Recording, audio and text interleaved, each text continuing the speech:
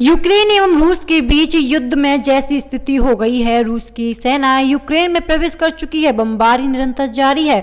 भारतीय जनता युवा मोर्चा के कार्यकर्ताओं ने वृंदावन स्थित गिरिराज भवन, बंगाली आश्रम में एक हवन का आयोजन, यूक्रेन एवं रूस के बीच शांति स्थापित और भारतीय छात्रों की सकुशल वापसी को लेकर हवन किया। जिला मंत्री शशांक शर्मा ने कहा, भारत हमेशा वसुदेव कुटुम्बक की बात करता है और हमारी सनातन संस्कृति हमेशा विश्व शांति के लिए अग्रमी भूमिका में रही है। यही कारण है कि यूक्रेन ने नरेंद्र मोदी जी से रूस से बात करने के लिए आग्रह किया और शांति बनाने के लिए रूस के बीच एक सेतु बने इस कारण से बोला।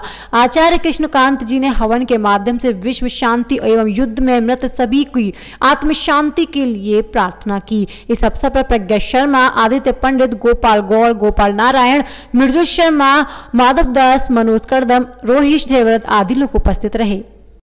शशांक जी, आज हवन रखा गया है। किस लिए रखा गया? क्या उद्देश्य था इस हवन कराने का? देखिए आप सबको विदित है कि रशिया और यूक्रेन के बीच में युद्ध जैसी स्थिति पैदा हो गई है और रशिया ने यूक्रेन में सेना उसकी पहुँच चुकी है। तो विश्व शांति के लिए भारतीय जनता युवा मोर्चा ने आज वृंदावन में हवन का आयोजन किया है। विश्व की शांति हो। भारतीय छात्र वहाँ फंसे हुए हैं, वो सकुशल भारत लौटे। और भारतीय संस्कृति, सनातन संस्कृति तो हमेशा वासुदेव कुटुंबकम की बात करती है। कि विश्व में शांति हो, विश्व में किसी भी प्रकार का आरोग्य हो, विश्व की में सभी लोग सकुशल रहें। कोरोना पीरियड निकल के चुका था, बहुत भयावह स्थिति हम देख चुके हैं।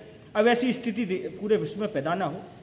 इसी उद्देश्य से विश्व शांति के लिए आज भारतीय जनता युवा मोर्चा के कार्यकर्ताओं ने आज हवन का आयोजन किया है।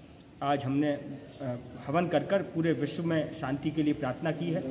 कि पूरे विश्व में शांति हो। और जो रशिया और यूक्रेन के बीच में युद्ध की स्थिति पैदा हो रही है, वो निश्चित रूप से ठीक हो। कोई भी ऐसे युद्ध की स्थिति ना पैदा हो। यही हम ठाकुर जी से प्रार्थना करते हैं। और ये युद्ध कैसे भी टल सके, यही प्रार्थना करते हैं।